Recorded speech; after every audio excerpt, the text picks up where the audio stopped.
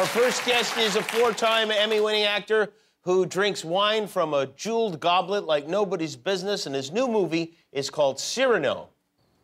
Good night. Wait! I could no more stop loving you I could no more stop loving you than I could stop the sun rising. than I can stop the sun rising. Really?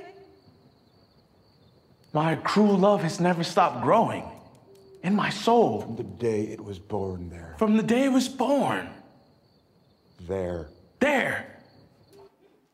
Cyrano opens in theaters next month. Please welcome Peter Dinklage.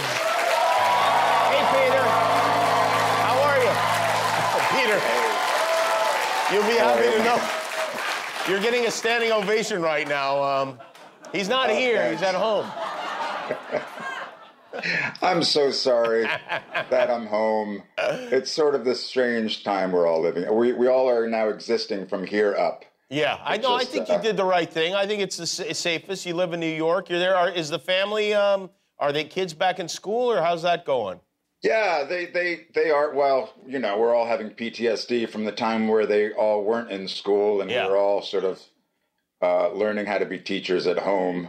Um, but uh, no, they, they're, they're, the schools, at least here in New York and hopefully other, other places in America and elsewhere, have really uh, uh, made great strides in adapting to the new world we're living in. Yeah. Were you? Yeah, I would assume you were getting a little stir crazy with the kids there. What do you do when you're home alone?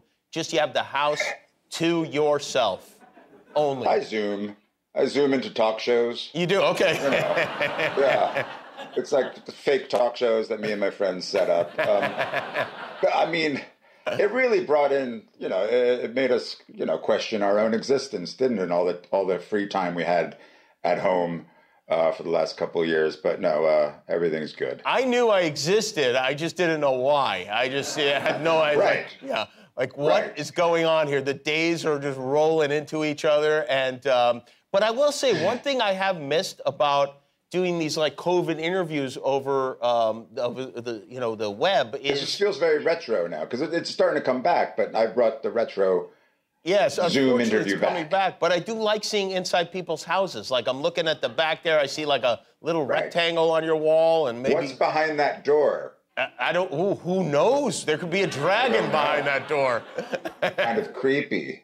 It'd be cool if you open that door and like a million of those goblets from the show um, tumble out. you have any of those? Did you hang on to any of those things? My daughter wanted to run in in a hockey mask and freak everybody out. I thought, you know, yeah, too much. You know, this movie, Cyrano, you first played Cyrano on stage. Uh, it was, I assume, on Broadway. Oh, thank you. No, Yes. it was it was it was down way off Broadway. Oh. Um, uh, um, but yeah, you know, I'm not the first person to do the part of Cyrano on stage or on film. I certainly won't be the last person, but it's a great role um, uh, for a reason. You know, for me, it sort of always was, though. Um, you know, me personally, a handsome actor and a fake nose, and that's sort of I thought, you know, what's he going off about? But uh, what we did is we got rid of the nose and we added some beautiful songs from the band The, Nat- the National.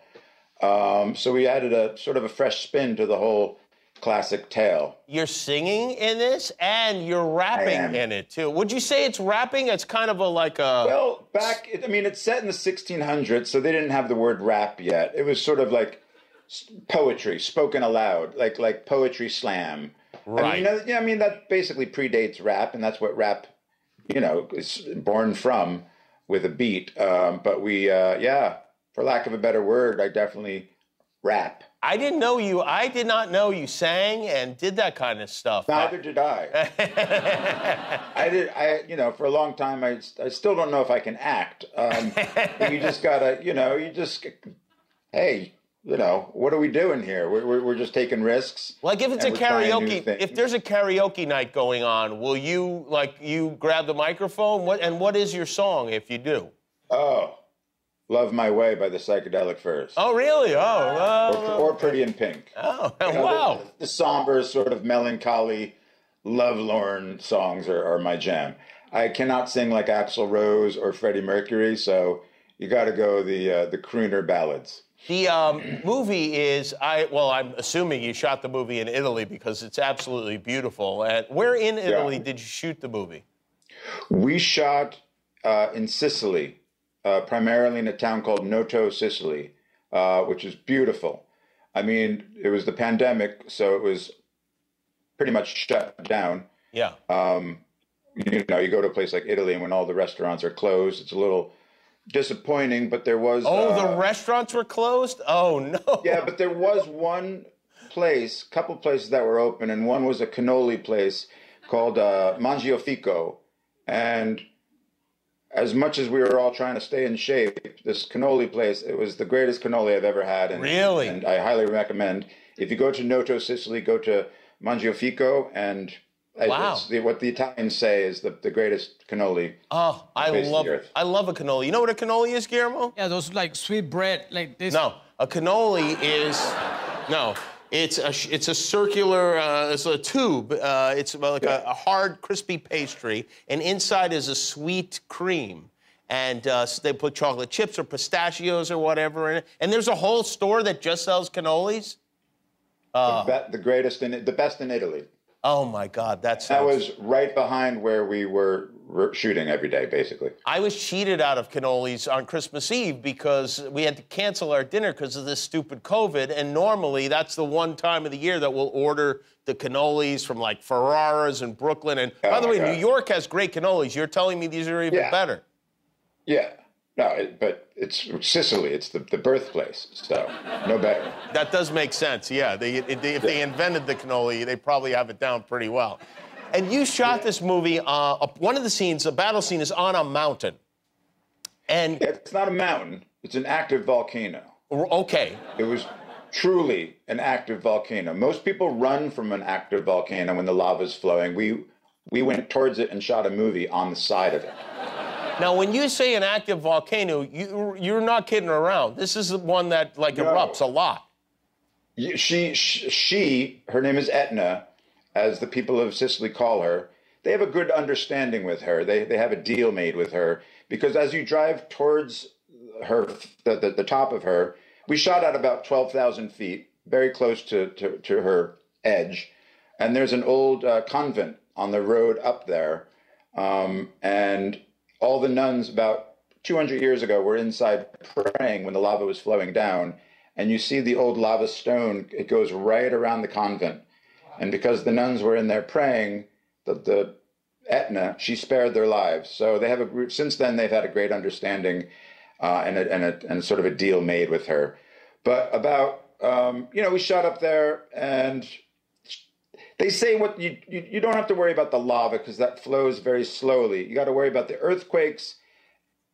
So we sort of were concerned about that. Yeah, sure. That seems like a. About, I got to show you this picture, Jimmy. Oh, yeah. About a week after we wrapped, I said she erupted about 50 times this past year. But about a week after we wrapped, this is the town, uh, Catania, at the foot of it, where we lived while we were shooting there. This happened. Whoa! Oh my God. Yeah. Oh my God. She's erupting. Yeah. wow, fried cannolis for everyone.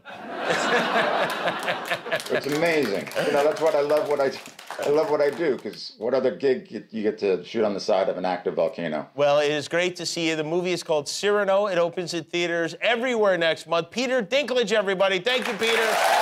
Stay safe. We'll be back with Fortune Feimster. Thanks for watching. Remember, every time you click the subscribe button, one of your enemies gets destroyed.